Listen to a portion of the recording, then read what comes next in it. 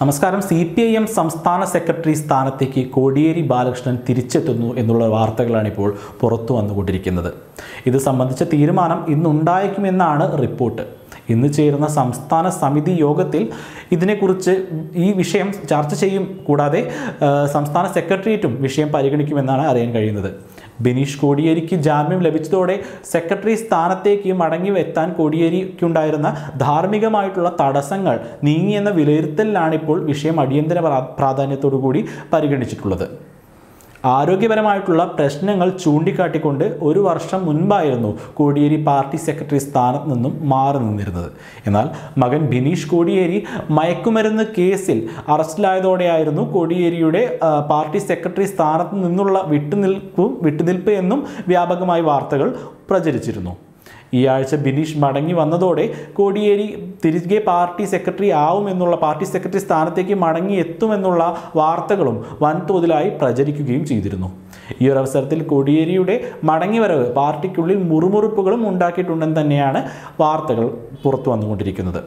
നിലവിൽ പാർട്ടി സമ്മേളനങ്ങൾ ഉൾപ്പെടെ സംസ്ഥാന തലത്തിൽ സംസ്ഥാന തലത്തിൽ പുരോഗമിച്ചുകൊണ്ടിരിക്കുന്നതിനിടെയാണ് കോടിയേരിയുടെ മടങ്ങിയെത്തുന്നത് എന്നും മറ്റു പ്ര- പ്രാധാന്യമുള്ള വിഷയമാണ്.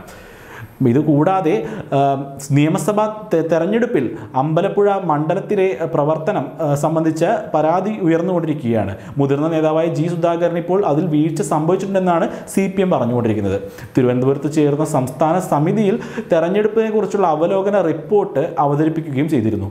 ഇടത് സ്ഥാനാർത്ഥിയായിരുന്ന എച്ച് സലാമിന്റെ വിജയത്തിനായിട്ട് പ്രചരണം നടത്തുന്നതിൽ സുധാകരന് വീഴ്ച പറ്റിയിട്ടുണ്ടെന്നാണ് നിലവിൽ ഇപ്പോൾ റിപ്പോർട്ട് പുറത്തു വന്നിരിക്കുന്നത്.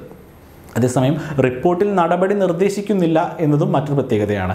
ഉച്ചയ്ക്ക് ശേഷം ചേരുന്ന സംസ്ഥാന സെക്രട്ടേറിയറ്റ് റിപ്പോർട്ട് ചർച്ച ചെയ്യുന്നു. ഇന്ന് മൂന്ന് മണിക്കാണ് ഇന്ന് മൂന്ന് മണിക്കാണ് ശേഷം വീണ്ടും യോഗം ചേർന്നിരിക്കുന്നത്. ഇതിനുശേഷമുള്ള സംസ്ഥാന സമിതി യോഗത്തിലാണ് നടപടി പ്രഖ്യാപനം ഉണ്ടാകൂ എന്നും അറിയാൻ കഴിയുന്നുണ്ട്. ജി സുധാകരന് പരാതി ഉന്നയിച്ച എച്ച് സലാമിനെതിരെ പരാമർശങ്ങൾ റിപ്പോർട്ടിലുണ്ടെന്നാണ് സൂചന.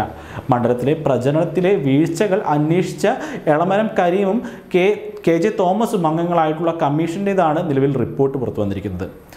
കൂടാതെ കോടിയേരി മടങ്ങി വരികയാണെങ്കിൽ നിലവിലെ പ്രശ്നങ്ങളൊന്നുമില്ലാതെ മുന്നോട്ട് പോകുന്ന സി പി ഐ എം വീണ്ടും ശക്തി പ്രാപിക്കുമെന്നാണ് അറിയാൻ കഴിയുന്നത്. കൂടാതെ പാർട്ടിക്കുള്ളിലെ സം കൂടാതെ കെ സുധാകരനെ എതിരെയും മറ്റ് എതിർ കക്ഷികൾക്കെതിരെയും ശക്തമായി പോരാടുവാൻ കോടിയേരി ഇടതിന് വലിയൊരു പിൻ മുതൽക്കൂട്ട് തന്നെയാകുമെന്നും നമുക്ക് മനസ്സിലാക്കാൻ സാധിക്കുന്നുണ്ട്. അതുകൂടാതെ സുധാകരൻ വിഷയത്തിലും വ്യക്തമായി തന്നെ കോടിയേരിക്കൊരു നിലപാടെടുക്കാൻ താ- സാധിക്കുമെന്ന് തന്നെയാണ് നിലവിൽ വിശ്വസിക്കാനാവുന്നത്.